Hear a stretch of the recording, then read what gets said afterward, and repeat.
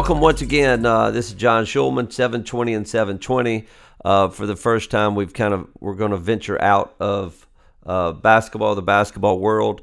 Uh, we've got a we're very fortunate to have a great guest, Ken Duke. Ken Duke is a PGA golfer. Uh, has been a PGA golfer. He's won five times on the either the PGA or Canadian or nationwide. He's made a lot of money and he did not have an easy path. We're going to talk about it, how he overcame adversity. Welcome, Ken Duke. Welcome to 720 and 720. Yeah, thank you guys so much. I appreciate it. How you doing? I'm wonderful. Thanks. Yeah. Uh, Ken just got done. Ken, you just got done um, trying to qualify for the champions. That means two things. It means you're old and still playing good golf. Is that correct? that, that, sums it up. That's exactly right. uh, all right. Uh, Ken and I go way back. Uh, Ken showed up in, in Kansas, sitting right behind our bench when we were up 12 with uh, 17 to play at Kansas. Correct, Ken? I would not have missed it. I was the leading cheerleader. Um, and I tried to be the leading cheerleader for uh, young Ken Duke on the PGA Tour. Uh, at the Masters, saw him make the shot to, to take a lot of money off Vijay Singh on the 18th hole in Augusta. Uh, watched him watched him at a lot of different places, but the greatest place was um, in Knoxville, Tennessee, when I caddied for young Ken. And uh, Ken, give me my grade before we get started. Give me my grade as a caddy.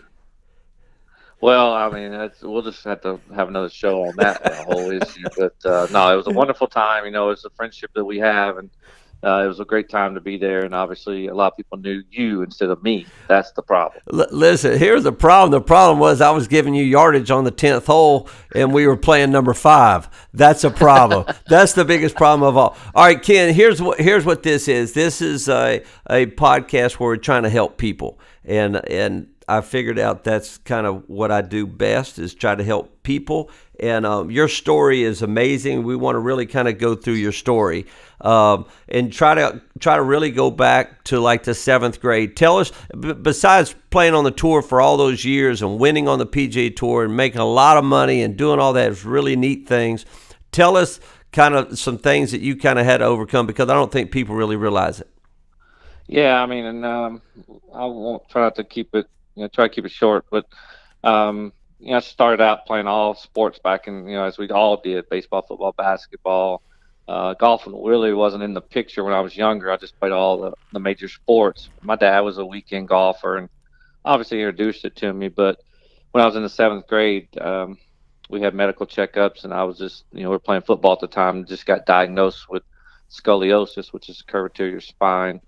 Uh, my spine was uh, probably a little more curved than than other people. So, but the doctors wanted me to you know go forward and check out things. And as I was growing at that age, 13, 14 years old, you know, obviously kept curving, kept curving.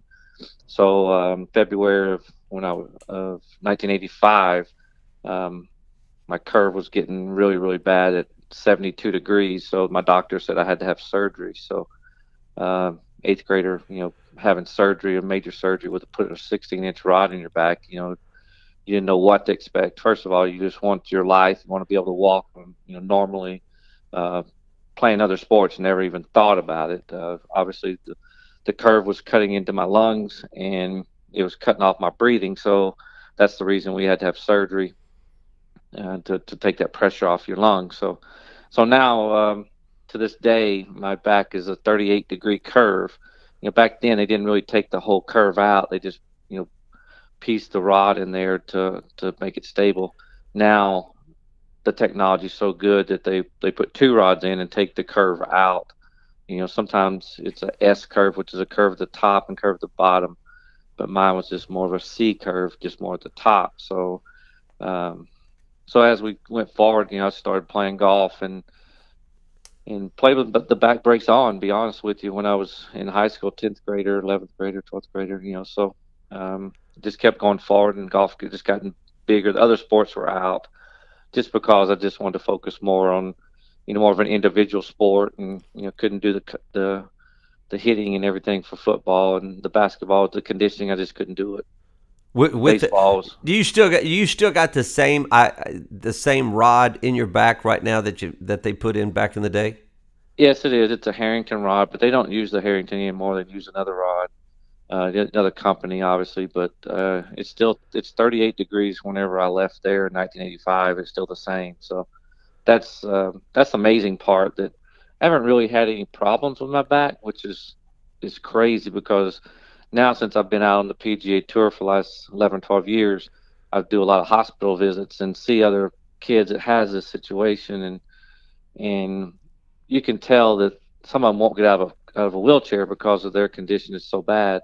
But a lot of times they've had multiple surgeries, and I only had one surgery because a lot of the hardware that they put in, these other kids or some other kids, it, their their body would reject them. So they'd have much more surgeries, and I got lucky, you know, to have the one. But uh, to this day, my doctor is still, you know, you know still practicing and uh, still talk to him. It's a pretty amazing story. Well, as you overcome that, I mean, you're overcoming that in eighth grade. Uh, I mean, so you're just in survival at that moment. Why on earth? Why on earth? It, it you know, and that's why I want to kind of get in your head this morning. First of all, why on earth? Because I had that saying. I had a dream being a Division One basketball coach when I was in eighth grade. When did you start realizing and, and thinking, "Hey, man, I, I want to be, I want to be play on the PGA Tour"? I mean, you you got a rod in your back. There's no way you can be thinking that at that moment. No, it, I mean, I I grew up with hardly nothing, so we didn't have lessons. We grew up on a nine-hole golf course, so you know, getting the teaching that you need or getting the experience you need, to, the bigger golf courses, tougher golf courses, the competitivity is, you know, just wasn't uh, it wasn't access to me. So um, I think in more in the like the 12th grade, I got, you know got better, and, and obviously a freshman in college is at Henderson State University is where uh, kind of you know like let's just try to give this a shot. But I still had a lot of work to do. And, you know, I had a wonderful you know freshman career, but the problem was, you know, there's always somebody out there a lot better, or even more people out there better, but you still had to work hard and hard to get where you where you want to go. But uh, I know, but you're playing. So so you go to Henderson State Division Two, which uh, we'll talk about sometime. What what what you've done for that golf program right now for for Bucks for Birdie and and your uh, foundation. What you're doing is amazing. But you're you're a freshman at Henderson State Division Two. Do you have PGA aspirations at that time? I mean, what what what are you thinking about in your head? I'm thinking about first of all making the team, which I did. I was the only freshman on the team. Everybody else was seniors, and I was a freshman. But but really, I was really more just you know I wanted to finish college because you think I'm going to go professional with this situation in my back. There's no chance. You know, just no, I never even thought about that. But as the years gone on, you know, a couple years later, junior, you know, or so, it's kind of when I'm like, you know, I might can give this a shot. You know, I still had nothing. I didn't really have any money to go out there, but um, the main thing I, I had my life now. I had, um, I didn't, I didn't have to worry about my back. I still had to do exercises to strengthen it because it was weak. So, you know, I never even thought about playing professional golf probably till then. And I just got gotten a lot better. But I mean, I can't tell you, and you probably you probably do know of how much I've worked to get to that point, and it doesn't just come overnight. You don't you don't just get up and you know you're a professional. It's it's you know hitting balls before 5 a.m. to 7 before you got class at 8 and hitting balls at night at 11 o'clock at night when you get off work and I mean it's that was day in day out. That's just we had to work as uh, you know my family and to to make ends meet and that's just the way it is. But um, well, it's just a lot of a lot of hard work. I, I just think only the special and the elite have that mindset. And and you you've got the mindset. You know, I mean, I watch you out there with Tiger and Phil, and and I'm going. You know, first of all, I mean, I, I know that guy, man. He's a buddy. I mean, so like, I mean, you were a hero besides being a great friend. You, I, I was, I mean, in awe of what you were doing out there. But but to overcome what you what you did with your injury I, I can't believe you even were thinking of that and could do that, and you did that. And so I, I you know, your mindset, you know, trying to help others right now, uh, trying to realize their dream. Very few people get to do what you did, and very few, very few coaches get to do what I did.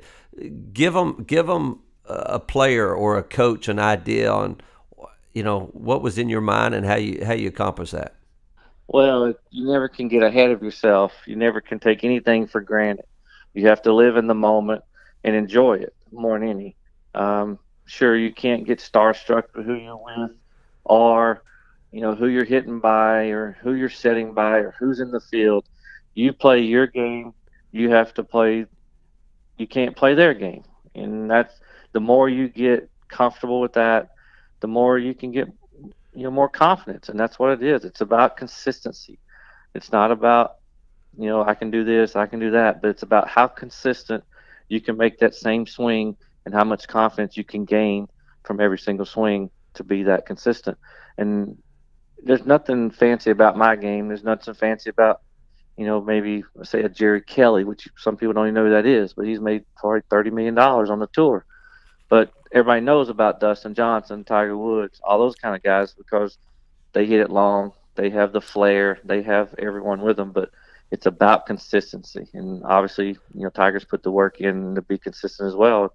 But that's what it's all about. It's a it's the consistency and the confidence that you can build for your game, not for somebody else's game that you watch on TV. Well, we uh, Alan Stein, we did a podcast with Alan Stein. Alan Stein work, work with your boy KD and Steph, and and he said you cannot get bored with the basics. And he said that the best players in the world are the ones that don't get bored with the basics and so I'm assuming, you know, when I when I was a great caddy for you, phenomenal caddy for you, uh, when I cleaned your clubs, I guess, you know, I watched you guys on that driving range, and you had pro after pro after pro out there working on the basics. So I'm assuming it's the same thing in golf, correct or incorrect? No question. You know, a lot of a lot of it's just the the chips that you, the little 50 to 80 yard chips you hit on the range, not just hit the drives 300 yards. It's about the fundamentals of getting that club face squared impact every single time, not every other time. It's about every single time. And those short shots and the basic stuff is uh, that's how you get it done.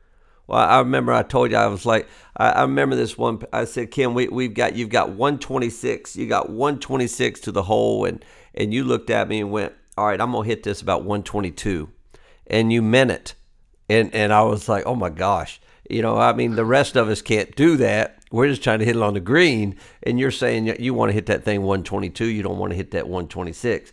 So, so the the basics are still the golf, and and I would say in everything, business and and coaching and basketball and baseball, you cannot get bored with the basics, and and I'm assuming that's what you guys did time and time again. No question, it pays off. You know, and it may not you may not see the results that next day or that day, but you may see it the next week, and that's what it's all about. It's uh, just working on the simple things more than the more difficult things. I, I think you can help us with this. All right. So so as a coach, and you kind of live my life as I was living your life. Uh, you'd lose a tough one. We'd lose one at the buzzer, and and I had a tough time getting over that. And and I had a tough time getting over it, and I could turn one loss into two very quickly.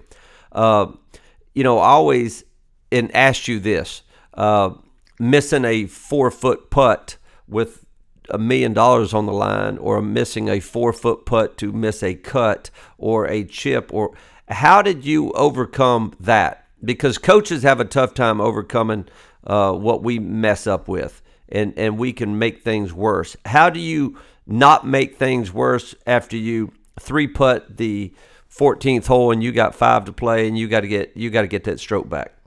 Yeah, it's very difficult. I mean, obviously, you think you should everything should happen perfectly, but it just doesn't do that. And I've always thought you got to be a better loser loser than you are a winner because you're going to lose more than you're going to win most of the time, especially in in golf. You know, you don't win every single time or every other time unless you're Tiger or somebody. um, it's it's you just have to you know you really got to have fun more than any. You have to you know you have to shrug it off and you know just work a little bit harder or or what watch was, a movie and forget about it or something like that. But what was your mindset while while you doing it's it's almost okay missing a free throw I've missed two in a row and you missed two you missed two eight footers in a row for par or for birdies. Mm-hmm. How do you get through that? How do you get through that and and put that behind you as fast as you can? Most of you know, most of the time, and I'm just speaking of myself and maybe some other guys. When you do that, you're you're you're hurrying. You're trying to make something happen instead of just let it happen. And for me, I either I either you know walk a little bit slower or change my routine a little bit, just to take the club back a little slower, like a putt or a hit or whatever.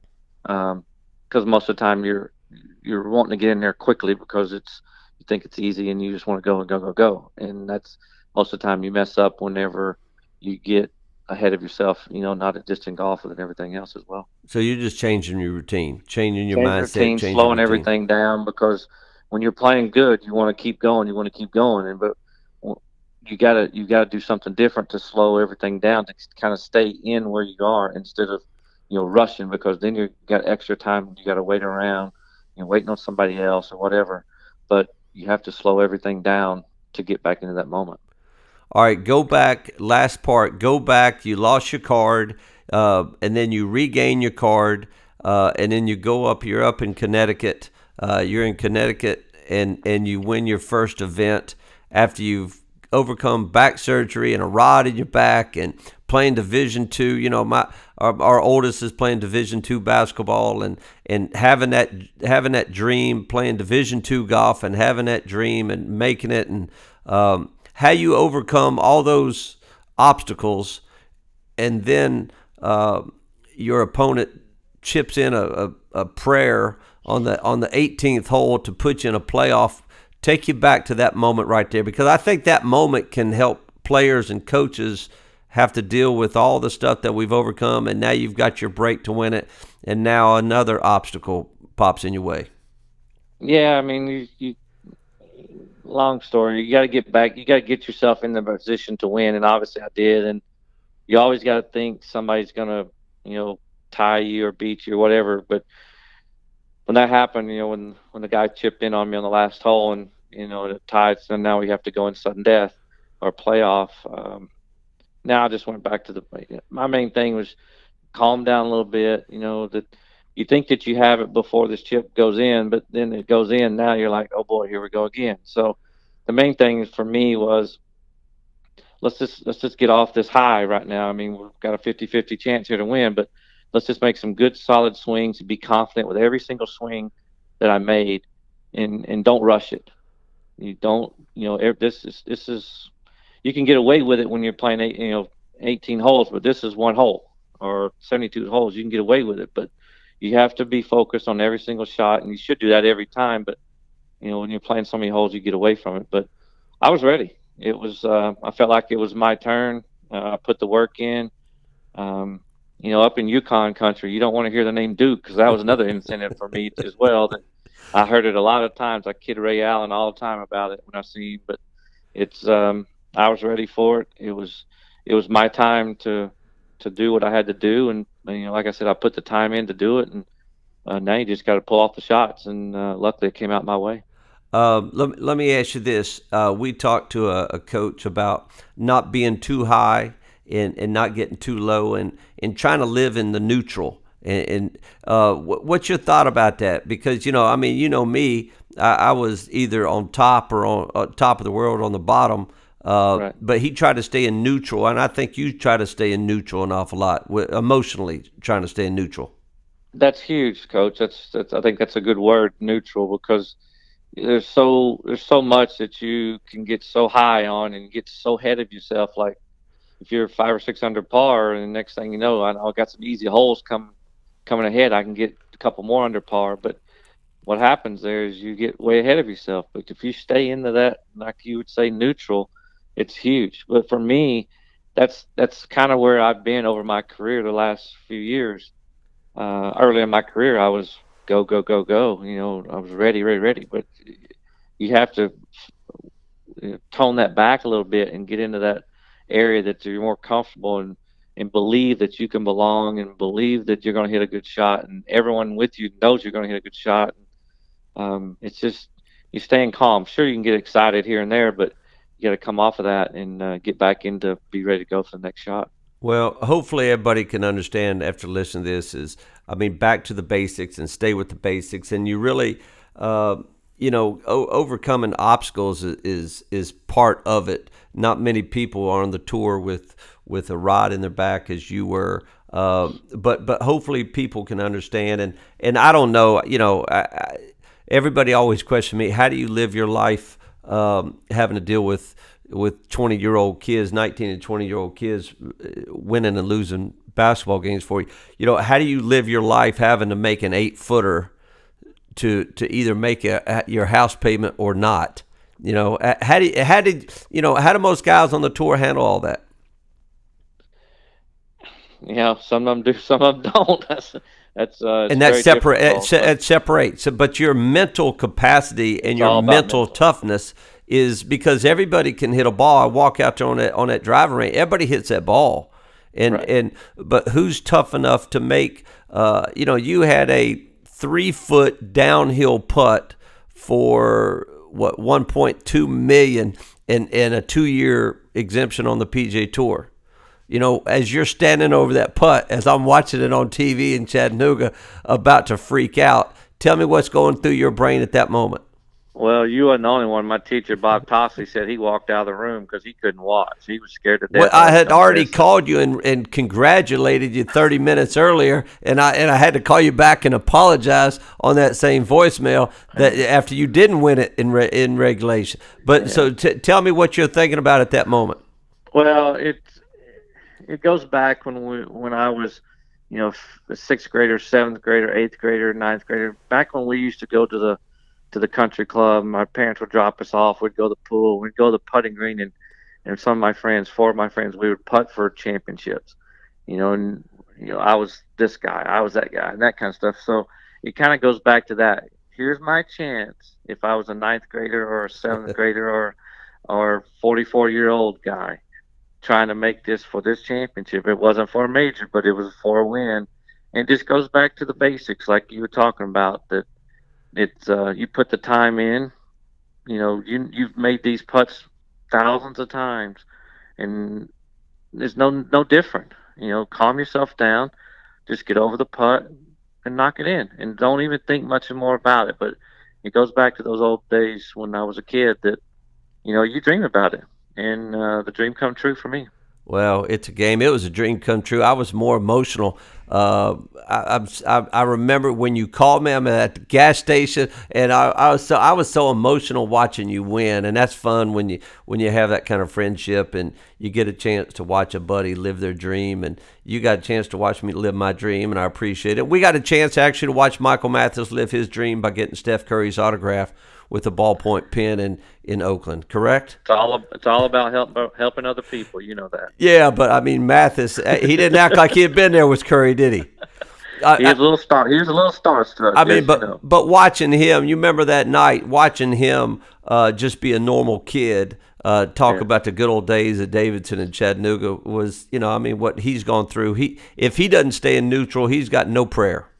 No chance. No, but that's that's how that makes a difference. That that uh, separates uh, you know the, the guys that can and the guys that can't, and the guys that can will go a long way in a long time for a long time and uh, make a difference for sure. Well, Ken, we appreciate your time this morning. You're a PGA guy. We'll be continuing to root for you as you make the transition to the Champions Tour. You're going to make a lot of money. And if you ever need a caddy, remember, do not call me. I will be outside the ropes. I thought I could handle for all you people that think y'all can caddy and that you know the game of golf. Uh, we actually know nothing about it. And uh, I screwed my boy up so bad that uh, I remember after the round, you you said, "Man, that, was a great time. I didn't help you a lot, but we'll do it again." And my first answer was, "Absolutely not. I will be on the outside of the ropes, watching you and cheering for you." But we appreciate your time this morning, and and thanks for kind of giving us what's been in your head, and and uh, we are in awe of you overcoming adversity and, and playing on the tour and and living your dream. Yeah, it's been a special ride for me, and uh, it's an honor to know you, Coach, and, and all you do for everyone. And it's just been fun to be out there and looking forward to going to the next chapter on the Champions Tour and see what we can do out there. We'll be watching. Appreciate your time. Thanks, Coach.